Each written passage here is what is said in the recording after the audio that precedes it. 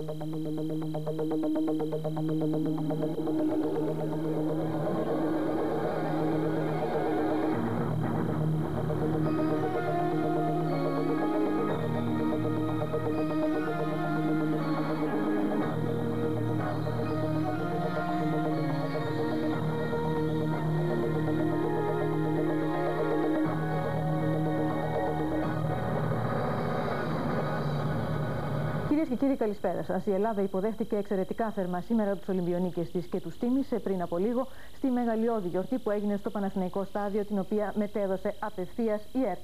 Και ίσως παρακολουθήσατε. Παρακολουθούμε εδώ στιγμιότυπα από την άφηξή τους, από την πομπή και μετά την άφηξή τους στο Παναθηναϊκό Στάδιο. Είναι οι συγκινητικές στιγμές που μας περιέγραψε ο Δημήτρης Κωνσταντάρας. Η Βούλα Πατουλίδου στις οθόνες μας και ο Πύρος Δήμας σε δεύτερο πλάνο, σε πρώτο πλέον.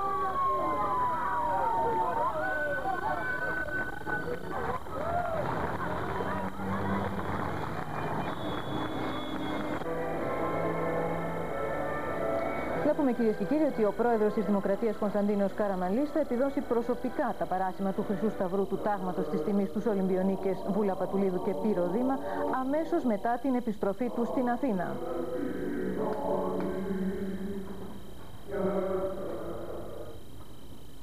Επόμενο μεγάλο θέμα μας, η μεγαλύτερη αστυνομική επιχείρηση των τελευταίων ετών βρίσκεται σε εξέλιξη.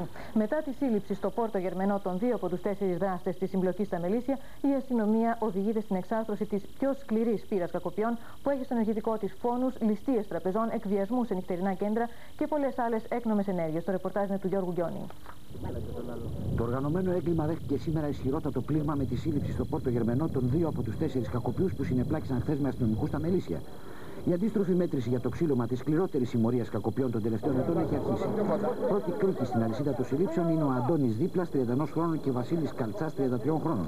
Ο πρώτος αυτό πυροβολήθηκε στην κοιλιά, φωνάζοντας αστυνομικούς: Δεν θα με πιάσετε ζωντανό. Ήταν γύρω στις 12 το μεσημέρι, όταν ομάδα της τρομοκρατική υπηρεσίας έκανε έφοδο στο χρυσφύγερο των κακοποιών με δακρυγόνα και πυροβολισμού στον αέρα. Όπως είπε και ο Υπουργός Δημόσιας Τάξης κ. Θεόδωρος Αναγνωστόπουλος, Πρέπει να σημειωθεί ότι ο εντοπισμός για τον οποίο η αστυνομία πλήρωσε με αίμα έγινε χάρη σε μια έγκαιρη και εκτεταμένη κινητοποίηση. Τα μπλόκα που στήθηκαν απέδωσαν και πιστεύουμε ότι θα δοθεί τέλος στη δράση μιας ιδιαίτερα επικίνδυνης πύρας. Καταζητούνται ακόμα η Βασίλη Σούφλας, 31 χρόνων, και ο Κώστας Ναστούλης, 33 χρόνων. Μαζί τους πρέπει να βρίσκεται κι άλλο άτομο τα στοιχεία του οποίου δεν έχουν γίνει γνωστά. Κατά τον κύριο Αναγνωστόπουλο, η ληστεία στην τράπεζα της Δραφίνα, τα χρήματα της οποίας βρέθηκαν σε φρεάτιο στο Πόρτο Γερμανό είναι δικό τους έργο. Ο δίπλα, σύμφωνα με την αστυνομία, συμμετείχε στη ληστεία των Ελτά στην Καλυθέα και είναι αυτός που σκότωσε το μοτοσυκλετιστή της άμεσης δράσης Δημήτρη Κώστα πίσω από την Πάντιο. Ο Καλτσάς Δραπέτη, προδιετίας των φυλακών Κασάνδρα, παραδέχτηκε ότι βρισκόταν στη συμπλοκή στα Μελίσια όπου τραυματίστηκαν τρεις αστυνομικοί. Αυτή τη στιγμή βρίσκεται σε εξέλιξη η μεγαλύτερη αστυνομική επιχείρηση των τελευταίων ετών και εξετάζεται η συμμετοχή της πύρας στα εξής εγκλήματα. Δολοφονία του στρατιώτη Αντώνη Φαμέλου στη σκοπιά του στο στρατόπεδο μηχανικού της Μάνδρας στις 17 Μαρτίου 92. Η ληστεία των 10 εκατομμυρίων στη Γενική Τράπεζα Παγκρατίου, όπου βρήκαν το θάνατο δύο φύλακες στις 17 Μαου του 92. Η ληστεία των 27 εκατομμυρίων στην Τράπεζα Εργασίας Νέας Μύρνη στι 31 Οκτωβρίου 91. Ο φόνος του εμπόρου αυτοκινήτων Κώστα Ντάκου με 6 πιστολιές στην έκθεσή του στη λεωφόρο Καβάλας 236 στις 5 Μαου 92. Εξετάζεται ακόμα η συμμετοχή τους και σε άλλες παράνομες ενέργειες όπως η δολοφονία θαμώνων νυχτερινού κέντρου στη λεωφόρο Συγκρού καθώς και σωρία περιπτώσεων εκβίασης νυχτερινών κέντρων. Η πληροφορία ότι στο σπίτι στο Πορτογερμανό οι κακοποιοί έκρυβαν πομπό δεν επιβεβαιώνεται από την αστυνομία. Στο Πόρτο Γερμενό που συνελήφθησαν οι δύο κακοποιοί βρέθηκαν οι ρεπόρτερ μας Στέφανος Σιμωτάς και Κρικόρ Τσακιτζιάν. Οι κακοποιοί μετά τη συμπλοκή έφτασαν στο Πόρτο Γερμανό με μηχανές και σύμφωνα με πληροφορίες που έχουμε συλλέξει από εδώ, την ώρα που έφτασαν οι αστυνομικοί, βρισκόταν σε εξοχική κατοικία μόνο ο Αντώνης Δίπλας και ο Κάλτσα. Ο Βασίλης Σούφλας παίρνει νωρίτερα αυτοκίνητο και φεύγει μαζί με ένα τραυματία, σύμφωνα πάντα με τις μαρτυρίες των κατοίκων. Πριν τις 7 τα ξημερώματα έφτασαν οι αστυνομικοί, τον ΕΚΑΜ και κένωσαν όλη την περιοχή και τα διπλανά σπίτια. Ο διευθυντής ασφαλείας Αττικής Μιχάλης Νηστικάκης τους κάλεσε με τις ντούκες τρεις φορές και από μέσα ακουγόταν μόνο η φωνή του Κάλτσα και ζητούσε διορία 10 λεπτά. Στις 11.55 βγήκε ο πρώτος ο Κάλτσας με αίματο στο κεφάλι και μετά βγήκε ο δίπλας και φώναζε: Εμένα θα με πάρετε μόνο πεθαμένα από εδώ και αυτό πυροβολείται. Μέσα στον περίβολο του σπιτιού βρέθηκαν τα χρήματα και συγκεκριμένα στον υπόνομο. Και μια ακόμη αστυνομική είδηση. Το πρωί συνελήφθη στη Λάρισα ο Δημήτρης Αγαπητός, ένας από τους 11 βραπέτες που απέδρασαν χθες από τις φυλακές της Λάρισας. Δύο από τους βραπέτες είχαν συλληφθεί κατά την ώρα της απόδρασης. Καταζητούνται οι υπόλοιποι 8.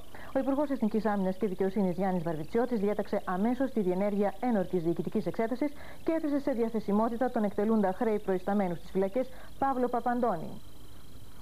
Ανώτατοι αξιωματούχοι των Ηνωμένων Πολιτειών και των συμμαχικών δυνάμεων του ΝΑΤΟ αποφάσισαν να συναντηθούν εκτάκτως την Παρασκευή για να συζητήσουν σχέδια για την πιθανή χρήση βίας στη Βοσνία Ζεγοβίνη για την ασφαλή μεταφορά ανθρωπιστικής βοήθειας στην περιοχή. Ακούμε την Οντίν Λιναρδάτου. Στον ΟΗΕ συνεχίζονται οι έντονες διαβουλεύσεις για να οριστικοποιηθεί το περιεχόμενο σχεδίων ψηφισμάτων που αφορά τη χρησιμοποίηση στρατιωτικής δύναμης για να διασφαλιστούν οι αποστολές ανθρωπιστικής βοήθειας και την απέτηση να επιτραπούν έλεγχοι στα στρατόπεδα συγκέντρωσης. Μέλη του Συμβουλίου Ασφαλείας δηλώνουν πως κατά πάσα πιθανότητα θα εγκρίνουν αυτά τα ψηφίματα την Πέμπτη. Στο μεταξύ, και ενώ τόσο το ΝΑΤΟ όσο και ο ΟΗΕ προχωρούν ραγδαία στο σχεδιασμό στρατιωτικής επέμβασης για να βοηθήσουν την κατάσταση, η Βοσνία και η Ερζεγοβίνη συγκλονίζεται από ισχυρούς βομβαρδισμούς και αιματηρές συγκρούσεις. Τι τελευταίες 24 ώρες σκοτώθηκαν 18 άνθρωποι και τραυματίστηκαν 172. Ένα άλλο μεγάλο πρόβλημα είναι και το φάσμα της πείνας που αντιμετωπίζουν οι κάτοικοι του πολιοκειμένου Σαράγεβου. Αξιωματούχοι του ΟΗΕ δηλώνουν πως οι αντιμαχόμενες πλευρές στη Βοσνία, επηρεασμένες από τη γενική καταγραφή, επιτρέπουν πιο εύκολα να φτάσει ανθρωπιστική βοήθεια στη Βοσνία. Στο μεταξύ, οι Σέρβοι της Βοσνίας και Ζεγοβίνης ανακοίνωσαν πως θα κλείσουν δύο στρατόπεδα εχμαλώτων και επέλεξαν 4-5 στρατόπεδα για να τα επισκεφτούν δυτικοί δημοσιογράφοι. Η κυβέρνηση της Ιουγκοσλαβία επιμένει πάντως πως η Δύση δεν πρέπει να επέμβει στρατιωτικά στη Βοσνία. Ακούμε τον ανταποκριτή μας στο Βελιγράδι, Νίκο Πέλπα. Σε ανακοινωθέν της Ομοσπονδιακής Κυβέρνησης αναφέρεται ότι δεν υπάρχει λόγος που να δικαιολογεί τη χρήση ένοπλης βίας, ενώ συγχρόνως επαναλαμβάνεται η αποφασιστικότητα της Ιουγκοσλαβία να συμβάλλει στην αποκατάσταση της ειρήνης στη Βοσνία Ζεγοβίνη. Ο φόβος επέκτασης των διεθνών στρατιωτικών επιχειρήσεων και στο εσωτερικό της Ιουγκοσλαβία είναι υπαρκτός. Η Βουλή στη σημερινή συνεδρίαση επισήμανε τον κίνδυνο και ζήτησε από τον πρόεδρο της Ομοσπονδίας να πληροφορήσει το σώμα για τα μέτρα που πρόκειται να ληφθούν ώστε να αντιμετωπιστεί πιθανή απειλή.